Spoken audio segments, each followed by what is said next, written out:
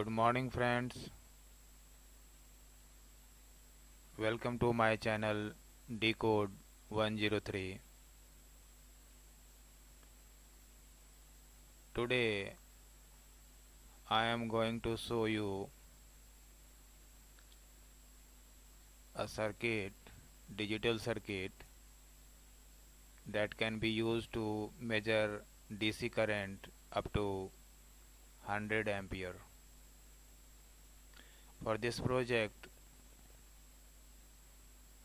I have used microchip microcontroller PIC 16F676 and uh, 3 digit 7 segment module.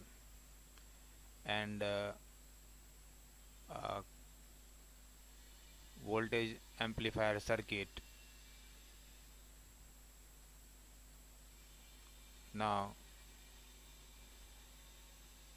look working action. This is current sense register. And these two terminals are the multimeter leads that you will use to measure the current flowing through a certain circuit. And uh, for this demonstration purpose I have used this module and uh, it's showing 17.5 ampere is flowing through this uh, this register. And uh, voltage is measured from these these two terminals and amplified by this circuit and uh, this is the output of this amplifier circuit. It goes to microcontroller and uh, the program works accordingly and uh, shows the correct value of current on 3 digit 7 segment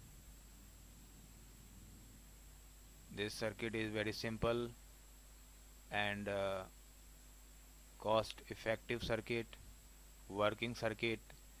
You can make this digital current meter.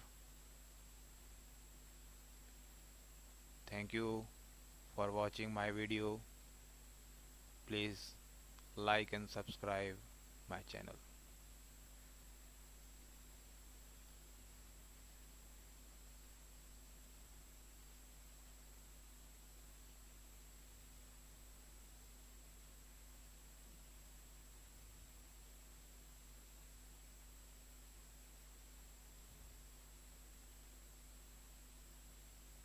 Thirty six point nine ampere and thirty six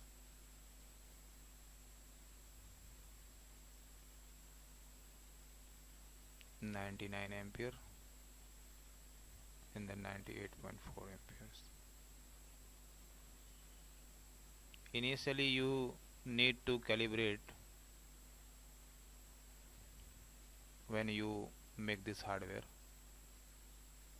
Thank you for watching my video